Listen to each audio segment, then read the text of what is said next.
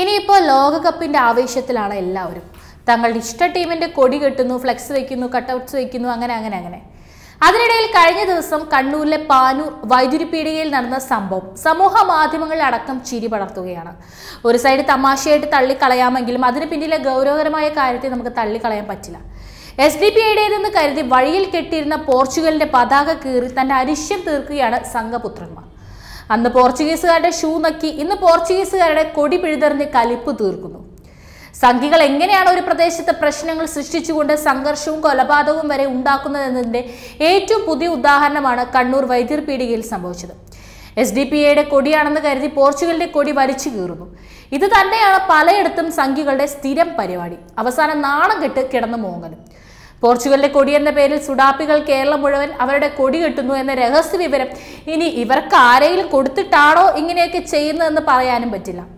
Brazil ഫാൻസുകാർ ജാഗ്രത പാകിസ്ഥാൻ കൊടി എന്ന് കരുതി ബ്രസീൽ ഫ്ളാഗുകൾ നശിപ്പിക്കാൻ ചാൻസ് ഉണ്ട്. തറികളുടെയും തിറകളുടെയും നാട് എന്നറിയപ്പെടുന്ന വടക്കൻ പാട്ടുകളിലെ ചേകവന്മാരുടെ നാടായി അറിയപ്പെടുന്ന മലബാറിൽ. പിന്നീട് രാഷ്ട്രീയ സംഘർഷങ്ങളുടെ ഭൂമികയായി അടയാളപ്പെടുത്തുന്ന കണ്ണൂർ പാനൂർ എന്ന ഗ്രാമത്തിന് അതിന്റെതായ ചരിത്രമുണ്ട്.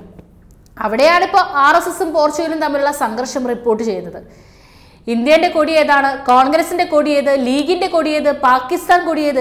എസ് ഡി പി ഐ കൊടി ഏത്? പോർച്ചുഗൽ കൊടി ഏത്? ഇതൊന്നും അറിയാത്ത ഇവറ്റുകളോടാണ് നമ്മൾ സാമ്പത്തിക ബാധ്യതയെക്കുറിച്ചും രൂപയുടെ മൂല്യ തകർച്ചയെക്കുറിച്ചും സംസാരിക്കുന്നത്.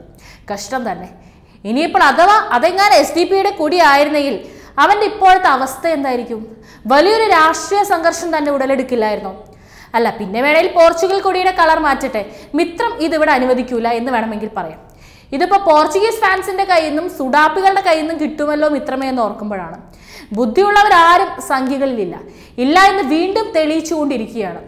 ക്രിക്കറ്റിൽ പാകിസ്ഥാനെ സപ്പോർട്ട് ചെയ്താൽ പാകിസ്ഥാനിൽ പോകാൻ പറയുന്ന സംഖ്യകൾ ഇനിയിപ്പോൾ അർജന്റീനയെ സപ്പോർട്ട് ചെയ്താൽ അങ്ങോട്ട് പോകാൻ പറയുമോ എന്തോ. സംഭവം കോമഡി ആണെങ്കിലും ഉള്ളിലെ പകയും വെറുപ്പും നന്നേ പ്രകടമാണ് ഈ ഒരു സംഭവത്തിലൂടെ. ഏതായാലും കൊടി കീറി കലിപ്പ് തീർക്കുന്ന യുവാവിന്റെ വീഡിയോ സമൂഹ മാധ്യമങ്ങളിലടക്കം വൈറലാണ്